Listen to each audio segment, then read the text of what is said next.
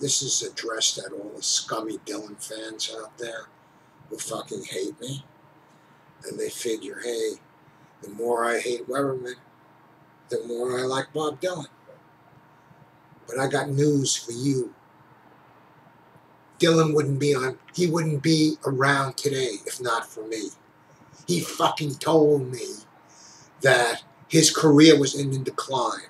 And he also repeated that in Chronicles, or in the early 1970s. He was deeply in debt. And uh, it was my shenanigans that brought his career back to life. The possibility exists that without A.J. Weberman, Bob Dylan wouldn't be on his eternal tour like he's doing today. Okay? That's the reality of the situation. I revived his motherfucking career. And that's the bottom line.